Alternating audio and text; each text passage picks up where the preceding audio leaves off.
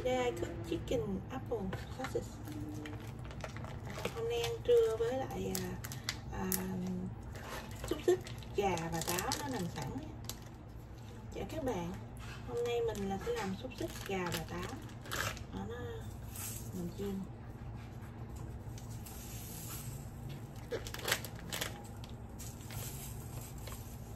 Today dạ, I cook lunch with the chicken apple sausage.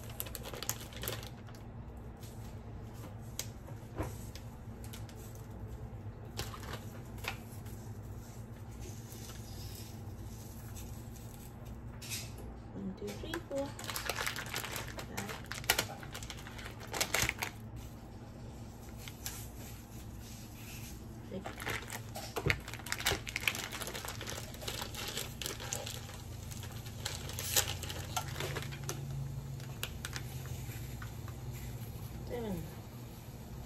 Okay.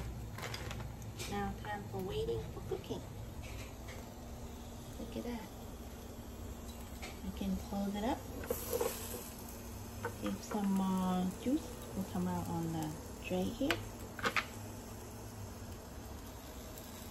Make it fast. Đưa mình nhỏ như thế này.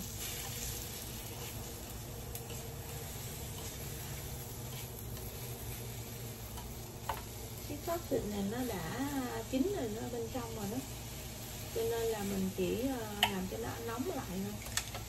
Là ăn được rồi. This sausage is fully cooked so I just warm it up grill it up and uh, we make a hot dog các bạn ơi vậy là xong rồi đó. À, buổi trưa rất là nhanh. Mình đã nướng xong cái uh, uh, sausage rồi đó nha. Sausage uh, ờ, gà và táo trong này rồi đó. Bây giờ mình chỉ cần uh, cái này là cái bánh bánh mì để làm cái hot dog đó, đó. mình có 5 cái đó. thì mình sẽ bỏ 5 cái này vô trong này và mình bỏ thêm uh, nước uh, cà chua và điều tạt ừ.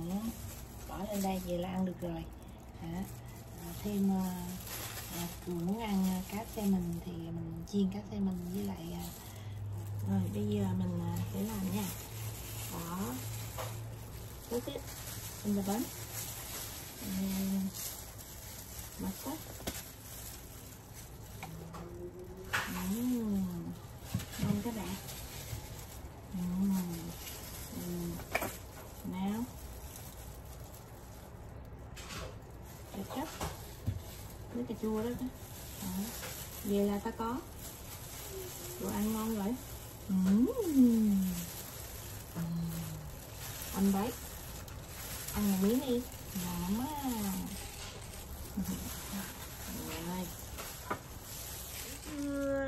Ăn với à, à, xúc xích. Ừ, xúc xích gà và táo. À, và thêm nữa là bánh ít trần nhân đậu xanh nè dừa nè. Bạn mới làm cho nè ngon quá đi.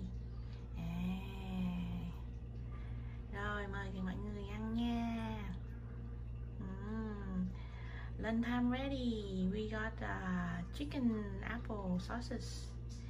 It's with uh, this one is special food. It's a sticky cake. Inside is the mung bean and coconut. Really good for snack. Well, thank you for watching. See you guys in the next videos. Cảm ơn các bạn nha đã ủng hộ đăng ký và thích kênh của mình. Cảm ơn.